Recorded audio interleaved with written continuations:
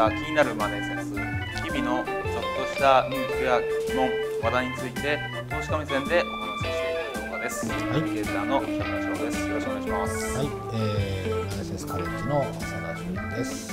はい、はい、さて今回のテーマはですね、はい、えっ、と、まあ、投資うん、っていうものそれ自体が、うん。うん、強者のためにあるのか弱者のためにあるのかっていうことをちょっとお話ししていきたいなと思っております、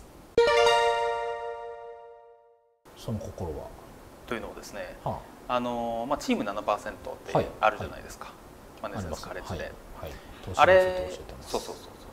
あれを見てて、はい、僕はその投資っていうのはやはりその強者がより強くなるためのうん、ツールうん、というふうにこう認識してたんですね、はい、はい、うん、でチーム7%を見ると、まあ毎月最低500円からでも始められるし、まあ、お手軽だし、一歩目も踏み出しやすいし、うん、うん、おやこれはと。うん、あれに関しては、弱者が強者になり変わるためになり変わるとおかしいですね。あのなり上がるためにうん、使えるツールではなかろうかというふうにちょっと考えを持ちまして。はで、えーまあ、その辺どうなのかなというところをあ。ああ、聞いていきたいなと。なるほどね。まあ、そう思っていただけるとありがたいんですけど、うん僕はそんなつもりは全くなくて、投資っていうのはやっぱりうん。強者のためにあるああものですね。ほう。あそうなんですね。はい。その心は？えー、まあ強者でないと投資というもの自体ができないですね。うん。例えばじゃあ僕が言った弱者っていうのはまああのあの日本でいうと女性とかあ社会的弱者そうそうですか？そうやっぱ男性男性社会の中でうん。どうしてもその賃金格差が発生しやすいというところで。うーんまあ女性の中でもね特にシングルマザーの人うんっていうのはもうほぼ底辺に近いですそうそうそうそう。けどねでその辺を捉えてはい。ちょっとこうふと考えをよぎったわけですけど。はあ。それを踏まえても、うんうん。おそらくうん全員強者ですね。あー。あそれを踏まえてもおそらく だ全から多分ね僕が見ているものと、うん。あの今翔くんが言っている、はい。その翔くんだけじゃないと思うんですね、うん。まああの投資すごく手軽にできるうん。ツールまでできてるので、うん。まあ、チーム7%ってすごくやりやすいしそうそうそうまあ、あのよりね高みを目指せるツールという意味で、まあ、うん。弱者のためのツールだっていうふうに思っていただけることはすごくありがたいんですけど、うん。あの僕自身が思っているものは、あのもう日本に生まれたっていう時点で、うん。もうすでに社会的には強者なんです、あだから僕が見てるのはもっともっと広いですね人たちを見てるわはいはい。けですね、世界基準。世界基準。うん。だって世界投資してるわけだから、あーあー確かにそうですね、うん。うん。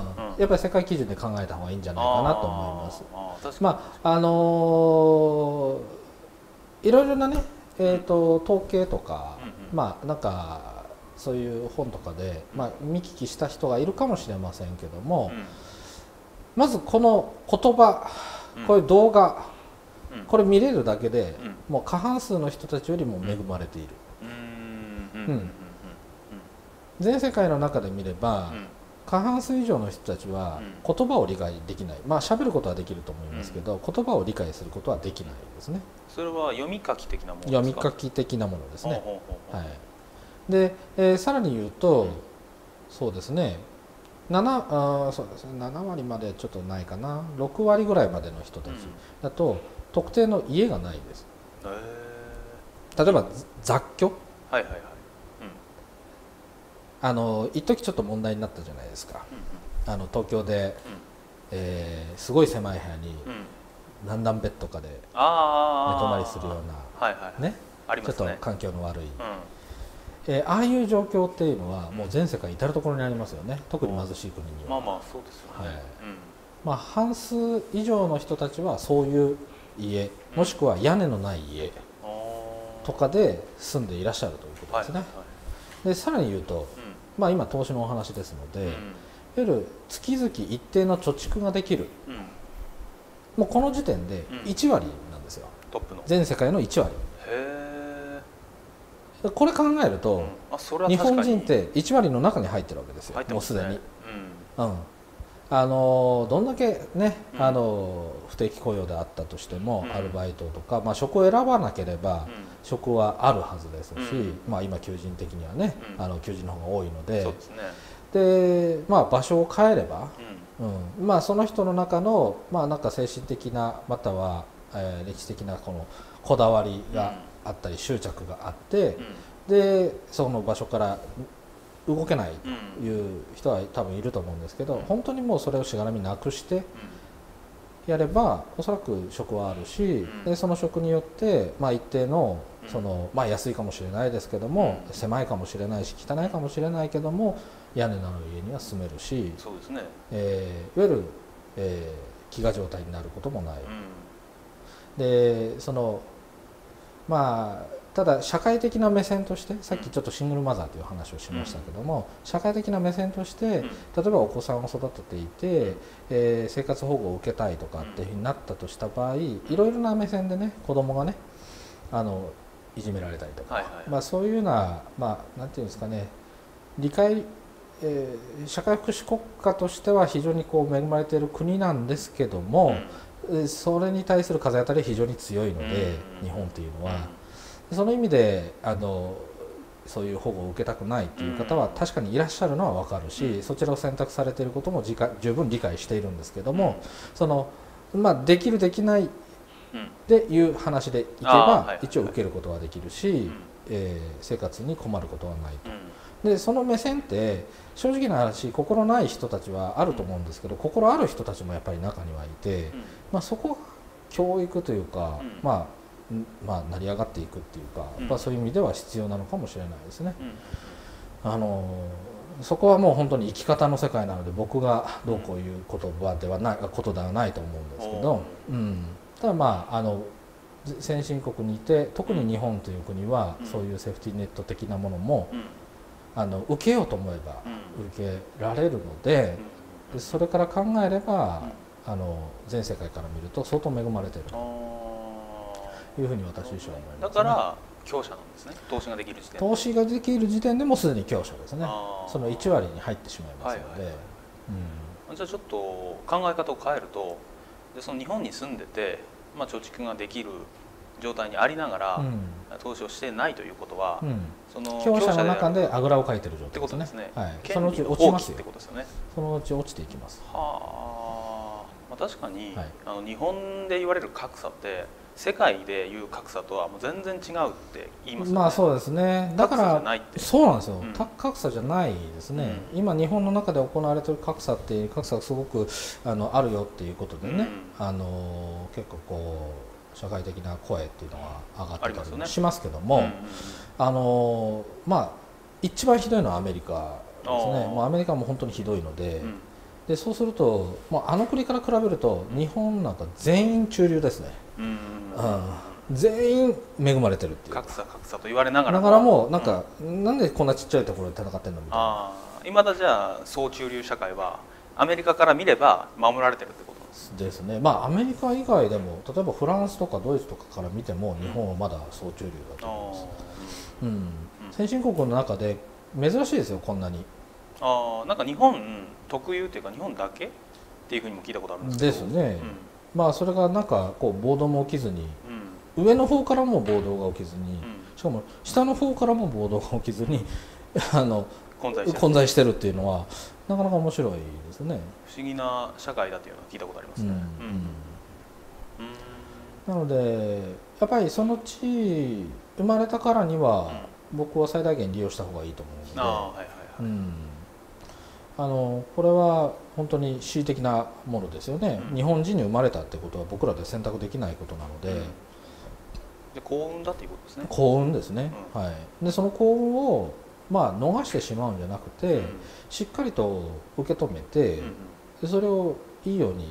またさらにいいようにしていく必要がありますよね、うん。うん、でこういうようなことを感じるのって、うん。日本国内でうん。しかもすごい狭い地域で動いあのあの生きててもうん。感じないんですよ。まあ感じないですよね、うん。ニュースでは格差格差と言われそあたかも格差があるかのようにう、うん、思いますよね、うん。そう。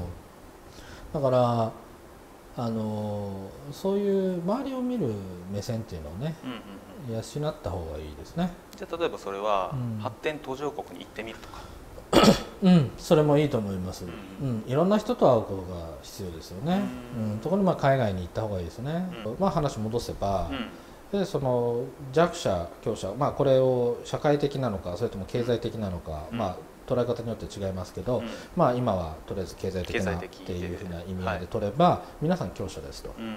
であぐらをかくことなく、ん。えーその強者の地位をしっかりとあの享受して、より、ね、いいようにするためには、えーそういうその立場を利用してというか、うん。うん。使ってね。使って。うん。えー、とそうですね、うん。あの行けばいいかなというふうには思います、うん。でそのためのツールで全世界投資なので、はい。まあぜひ使ってもらったらなとは思いますけどもね、まあちょっとこれもまたあの余談になってしまうかもしれないですけど、はい。その例えばそうですね。こういう方いらっしゃるんですよ。自分自身が恵まれているとか、はいはい。例えばあのお金持ちの子供だとして、うん。えー親の七光を使わずにああなんかのし上がりたいとかああありますね。いるんですよ、あありますでね僕からクソくらいなんですよそんなの、はいはいはいはい。ええ。使えそれただのうん。ただの,、あの自慰行為ですよね。うんうん。自分の自己満足ですよね。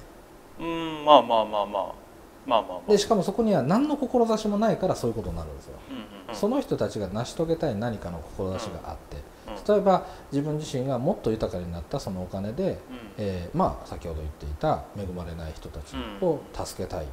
とか、まあそういう気持ちって、まあ、偽善でもういいからそこで救われる人がいるわけで、ね僕はそれは大大切あの大義だと思うんですね。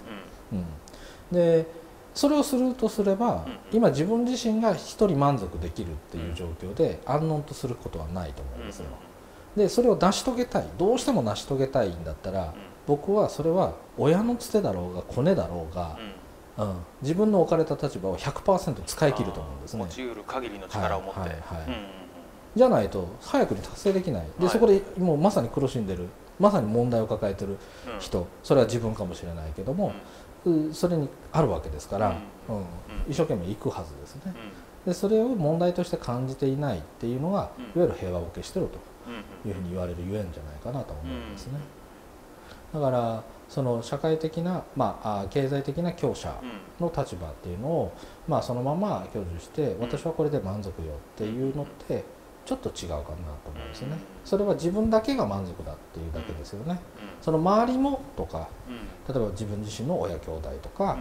えー自分のパートナーとか自分の子供とかうん。っていうような存在が生まれたらまた考え方が変わると思うんですね、うん。まあ、視点が広がるというか遠いところから見れるようになるかもしそれないですね。ね、うん。僕もバネセンスカレッジ始める当初っていうのは僕一人のものだったので、まあ、正直な話どうでもよかったんですけども、うん本当に道楽だって言われましたけど、ううん。まあ本当に道楽でやってたような気がします。うん。うんただまあそこに関わる人たちが増えてきて、うん。でそこで実際に問題を抱えてる人たちがいて、うん。でこれはいち早くやった方がいいっていうか、まあ伝えた方がいいっていうことになるとまあやらざるを得ないっていうか、まあそういう意味合いで、まあ、やりたいからやってるんですけど、うん。あのーこれはもっともっと力を入れてやらなきゃいけないというように、まあ、こう意識が転換してきたし、まあ、こうやって翔くんとかも一緒に、ね、こういう動画を作ったりとかする過程で、まあ、周りにいろいろ関係する人たちがいるまので,、あそうでね。まあ、みんなで豊かになりたいうんうん。というのは、まあ、僕自身もあるので。そういう気持ちになってくると、うん。そのあぐらをかくことはなくなるんじゃないかなと思うんですね、自分さえ良ければいいっていう感覚からうん。自分が今恵まれているこの立場を利用してもっと良い、より良い世界にうん。したいっていう、うん。それがたとえきっかけが偽善であったとしても、うん。えーそこに大義が僕はあると思うんで、うん。うん。まあ、そっちの方にシフトしていただいてもいいしもちろん自分自身の本当に近い人たちですね。親族とか、まあ、子供とかね自分自身のね。そういう人たちと一緒に、まあ、その人たちをできるだけ豊かにしよう。それもまた一つの大義だと思うんですね。うんじゃああのあれですね。最初のテーマが投資は強者のためなのか弱者のためなのかというところでしたけど、はい。まあ、思いがけずその日本という国自体が強者であると。いうことなので、今をこれ聞いてる人は全て強者です、まあ、動画見れてるってことですね。はい、もうそれでもう強者です。ですね。はい。今投資をする1円でも投資することができる貯蓄することができるっていう時点で1割の人たちに入ってしまいます、うん。上位1%あ10%です。ですね。はい。じゃあそのね運よくもらったその権利を全力で使ってより良い世界にしていきましょうというのが。自分の周りの人たち自分自身が問題と抱えてる。もうこの人たちに役に立ちたいなっていう人たちと共に行けばいいだけです、うん、全世界とか思わなくていい。あー身近な？身近な人たち、うん。自分自身が思う人たち。手が届く、はい、手だく届く手を届かせたい人。に、うん。でそういうふうな生き方を A さんがして B さんがして C さんがして、まあ、このマネーセンスカレッジとかで、うん。えー出会った方がそれぞれのうんその社会でね、うん。えー発揮していただければ、うん。少なくともみんなにとってより良い世界になるんじゃないかなっていうのが私の、まあ、理想ですね、うん。うん。はい。だから今の立場をねはい。最大限なんかうまく活用していただければいいかなと思います、うん。はい。はい。わかりました、はい。じゃあ今日はこの辺りで。はい、はい、ありがとうございました。はい、ありがとうございました